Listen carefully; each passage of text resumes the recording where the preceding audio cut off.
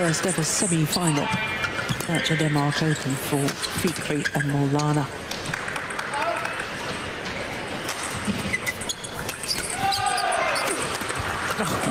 Two off the floor, three off the floor. Ah. Six. Oh, service fault.